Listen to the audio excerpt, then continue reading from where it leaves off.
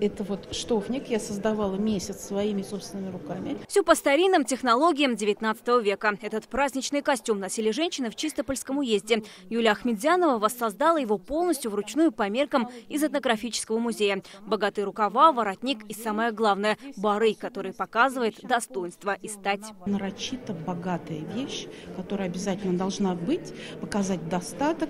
Дело в том, что э, крестьянское сословие, оно зачастую э, могло брать даже у кого-то, ну как на прокат сейчас говорят. На выставке редчайшие образцы русского народного костюма казанского Поволжья. 32 комплекта, которые носили в будни, на праздники, надевали на свадьбу. Это костюмы жениха и невесты. Считалось, насколько талантливой была вышивка на платке невесты, настолько хорошей женой она будет. Сегодня, конечно, подобные костюмы встретишь разве что на участниках народных ансамблей. Ты ощущаешь связь поколений, свои корни и понимаешь, что действительно эту одежду носили твои предки. Выставка народных костюмов – один из масштабных проектов и результат исследований экспедиций Центра русского фольклора на протяжении двух десятилетий. Ему самому уже четверть века. Центр изучает и сохраняет традиции русской культуры. С их участием проходят фестивали «Каравон», «Кузьминки», конкурс «Русская народная игрушка».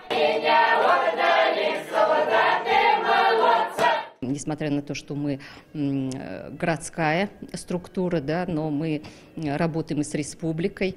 Это экспедиционные выезды, мероприятия по республике. Это энтузиасты, которые за четверть века собрали всех неравнодушных людей, которым интересны истоки, корни русского народа. Проект «Русский народный костюм Казанского Поволжья» вносит вклад в богатое нематериальное культурное наследие Татарстана. Выставку можно посетить в культурном центре имени Пушкина. Вероника Гайнединова, Данил Филатов, ТНВ, Казань.